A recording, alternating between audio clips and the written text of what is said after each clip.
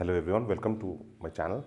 Now in this video we are going to have a revision plan for few chapters, few important chapters from uh, volume 2 of your NCERT textbook. Okay. Now basically we will be seeing ray optics, wave optics, atoms, nuclei and uh, dual nature of radiation and matter. Okay. Now before I start this video, you please take a snapshot or a screenshot of this uh, diagram. Okay. So now let's proceed with the revision plan. Now first we will discuss the topic ray optics and optical instruments. Now this chapter is basically study of two phenomena reflection and refraction. So starting from reflection at uh, plane surface then proceeding to reflection at spherical surface that is the uh, reflection from uh, concave mirror and convex mirror. The basic sign convention, study of basic sign convention then based on those sign convention you must be able to derive the mirror formula and uh, the formula for magnification. Okay. Now, then comes refraction. Okay. Now, basic fundamentals of refraction, the relation between refractive index, the velocity of light and the wavelength. Okay. Then comes uh, total internal reflection, its applications. Okay. Then comes refraction at spherical surface, that is refraction from lens. Okay. Then derivation of the lens formula, the lens maker's formula, the expression for magnification. You must both practice the derivation as well as the application of these formulae. Okay. Then you have refraction from prism, the formula of refractive index, the formula for deviation of light from prism. Then you must also study the two conditions that is deviation with uh, without dispersion and dispersion without deviation. Then comes the optical instruments, uh, the study of all the defects of vision with related to human eye. Then uh, the two, then the microscope, simple microscope, compound microscope, then the two telescope the reflecting type telescope and the refracting type telescope and the study of advantage of reflecting type telescope over uh, refracting telescope. Then you have the uh, chapter wave optics starts with Huygens uh, principle then using Huygens principle how to obtain uh, reflection laws of reflection and laws of refraction. Then the Doppler's effect numericals based on Doppler's effect are important, but you can try out only those questions which are there in the NCERT. There is a solved example on this. Then you have superposition of waves, principle of superposition of waves. Then Young, based on this, you have the Young's double slit experiment, all the results of the Young's double slit experiment, including the fringe width, the angular width. Okay.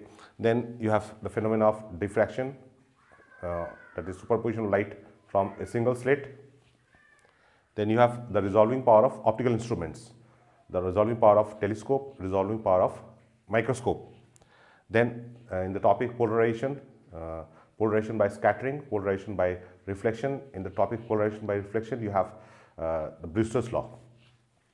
Then coming to the topic dual nature of radiation and matter, uh, you must go through the few historical facts uh, uh, related to like observations made by particular scientists. So there may be questions asked like what observations were made by a particular scientist. They will name the scientist and they will ask the observation made by them. Okay.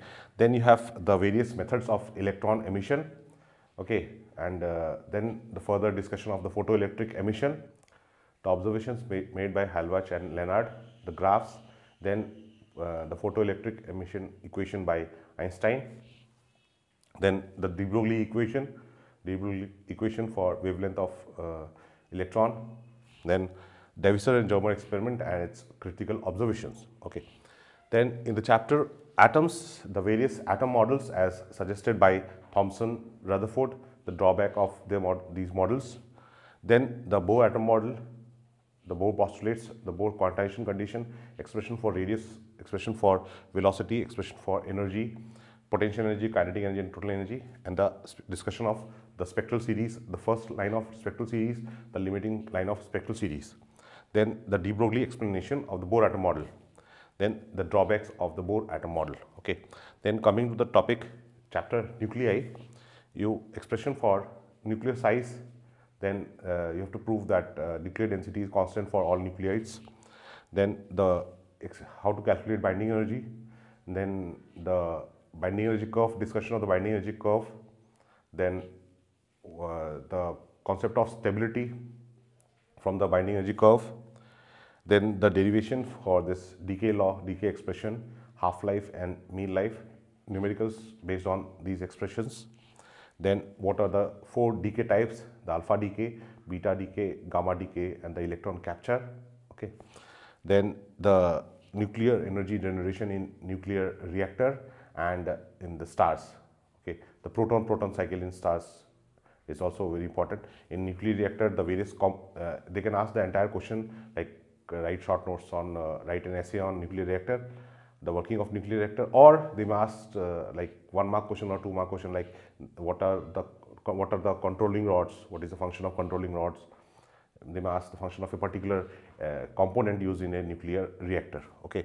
So, this is the revision plan for this uh, 1, 2, 3, 4, 5 chapters and I hope uh, with this revision plan my uh, expectations is like uh, you can revise this optical instrument entire part in if you have studied once okay uh, you have studied all these things once then uh, my uh, view is like you can revise these optical instruments ray optics and optical instruments in say around uh, 2 hours or so. Wave optics around 45 minutes atoms around 45 minutes uh, nuclei around 45 minutes and uh, dual nature of radiation again in 45 minutes. So, this is the revision plan so that you should be able to quickly revise these chapters okay and the more the number of times you are able to revise the more your performance will be the better your performance will be in the board examinations as well as this will be beneficial for your forthcoming entrance examination. So, my best wishes to you. Good luck.